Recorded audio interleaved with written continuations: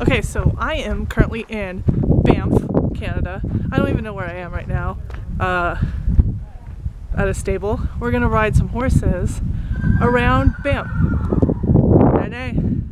We're gonna ride some horses around Banff.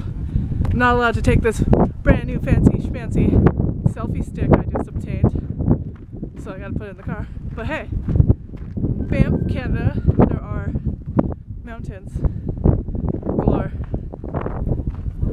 I'm gonna ride a horse. I think I rode a pony once at a carnival. See how this goes.